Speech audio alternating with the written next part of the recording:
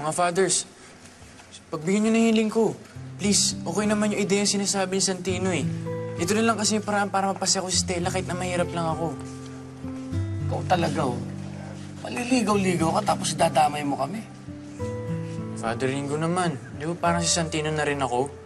Eh, parang anak niyo na rin ako, di ba? Please. Sakto sa inyo yun eh.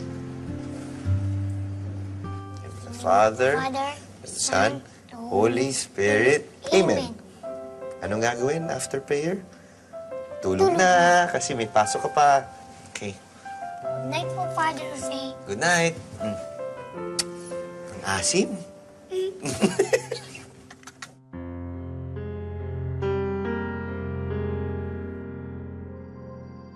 Bakit meron ka nito, Ma?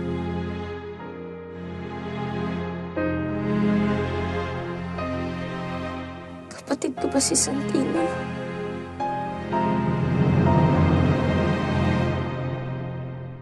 Ladies and gentlemen, presenting the Fab Four.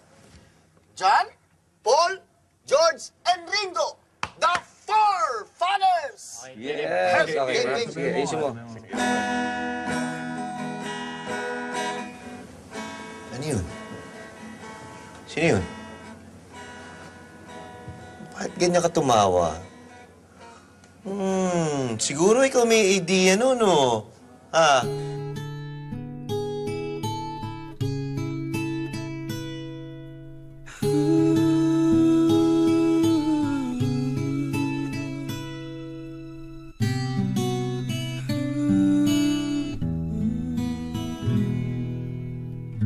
Kung ako ang may-ari ng mundo Ibibigay ang lahat ng gusto mo.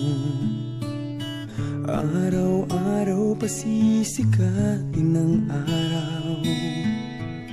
Buwan-buwan pabibilukin ko ang buwan Para sa'yo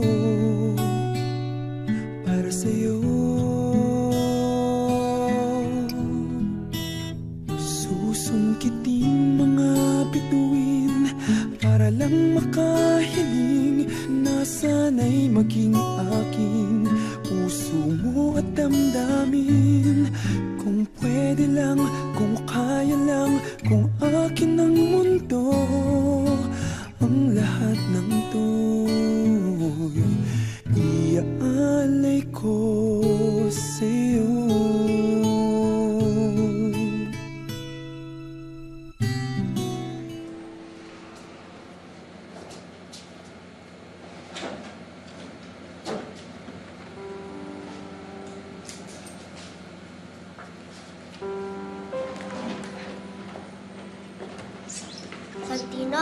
gusto ko lang mag-sorry. Para saan? Doon sa ginawa namin dati. Na itinuro ka namin na nag-utos para bugbugin si Rico. Sorry, Santino. Okay lang yun. Bakit niyo ba talaga ako tinuro? Di ba nga ako pa yung pumigil sa inyo nun? Utos kasi ng mga nanay namin. Pero huwag mo na kwento sa iba ha. Pag mapagalitan kami. Basta Santino, hindi ko na ulit gagawin yon. Sorry talaga, sana magkaibigan pa rin tayo. Siyempre naman!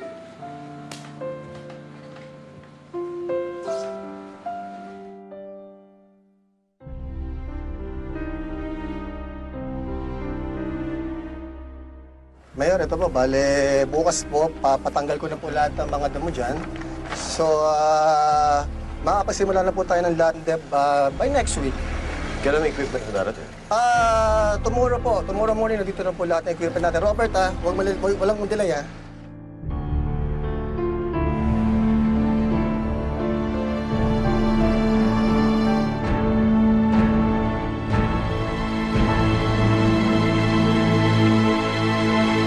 Tayo si Mayor ng casino malapit sa eskwelahan.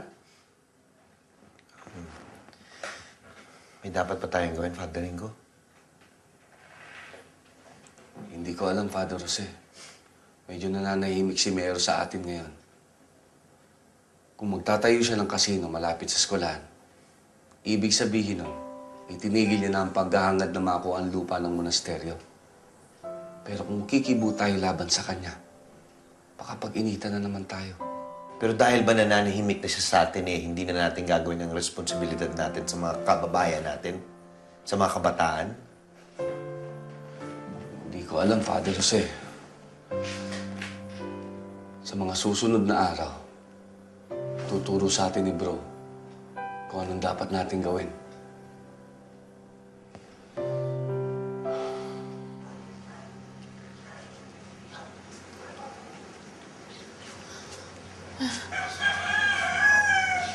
Nandito na po ako. Kailangan ko makita yung kapares nito.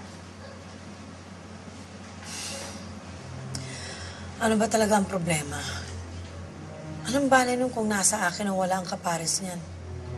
Ma, kailangan ko malaman kung kapatid ko si Santino.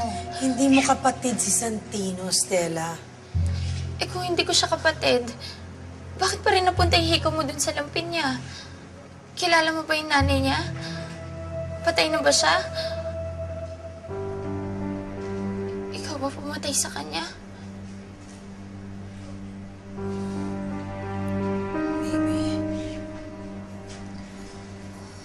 Alam kong marami nang nangyari sa ating dalawa.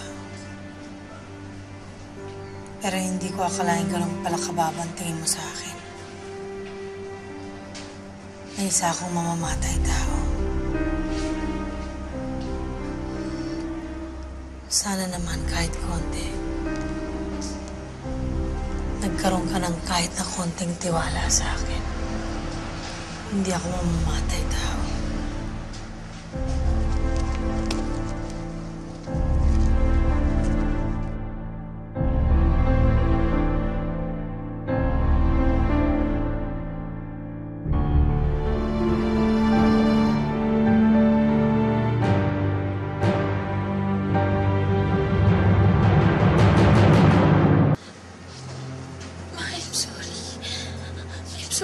Sorry na pag-isip kita masama. Masakit yun, Stella. But that's okay.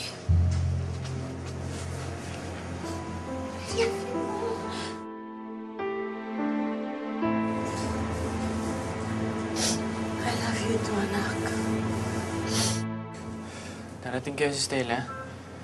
Kanina kasi parang problemado siya eh. Darating yun, Kuya Kokoy. Relax ka lang.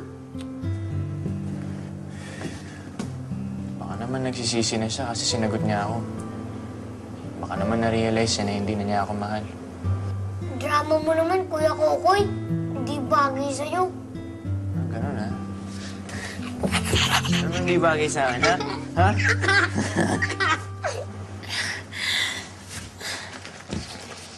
Stella, alis ka na?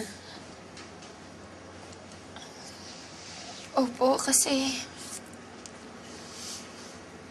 May date pa po kami ni Kokoy. Stella, sandali lang. Tungkol sa bagay na hindi pa natin napapag-usapan yan, di ba? Ma... Mamahal ko siya. Ipaglalaban ko siya, Ma.